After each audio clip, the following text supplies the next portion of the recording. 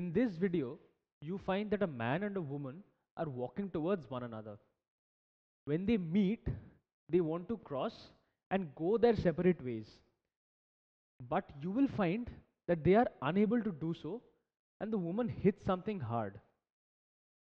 Both the man and the woman have been fooled by the glass present in between them. Why does this happen? The glass was such that light passed through it very easily and none of it was reflected. That is why the man and the woman could not see the presence of the glass in between them. So, what do you think such objects are called? Objects through which light passes through very easily and those objects through which we can see clearly are known as transparent objects. So in the previous example, glass was a transparent object. So what are some other examples of transparent objects?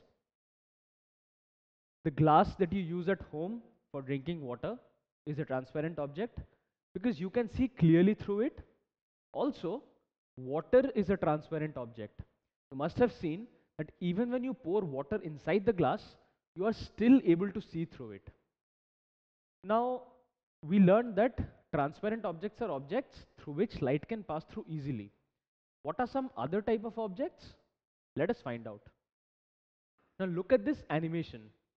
In this animation, you will notice that one part of it, the scenery, you can see very clearly and the other part of the scenery that is covered by the glass that is moving, you can see it in a very hazy manner. So why do you think it is so? I just mentioned that glass is a transparent object. But here lies the twist.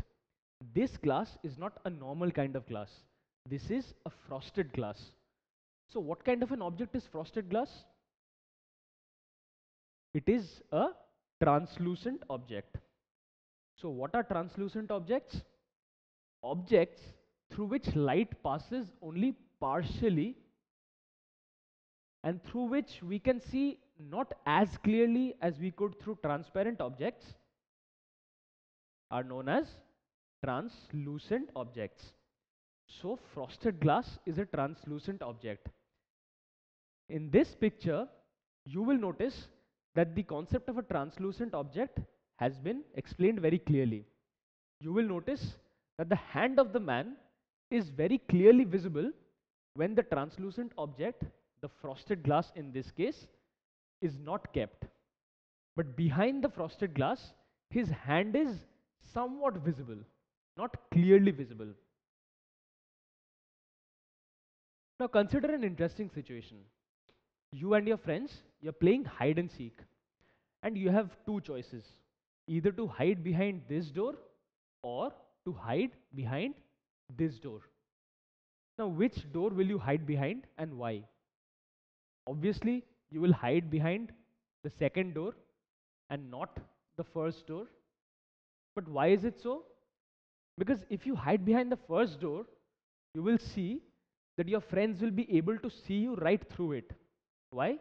Because as we just learned, glass is a transparent object through which light passes through very easily. But in the second case, the wooden door does not allow light to pass through easily. So if you hide behind the wooden door, your friends will not be able to see you. So what are these objects called through which light cannot pass at all? Those objects through which light cannot pass and through which we cannot see what is on the other side are known as opaque objects. So what are the three kinds of objects we learned about? Opaque, transparent and translucent. So let's take a quick recap of how we can see the other side through these three kinds of objects. You will notice in this picture that you can see a giraffe very clearly through the transparent object. However, through the translucent object, the body of the giraffe is not very visible. It is somewhat visible and you can see only a hazy picture. But through the opaque object, you cannot see anything at all. The image of the giraffe is not visible to you at all. So how can we conclude? Transparent objects are those objects through which light passes through very easily. Translucent objects are objects through which light passes through only partially. And opaque objects are those objects through which light does not pass at all.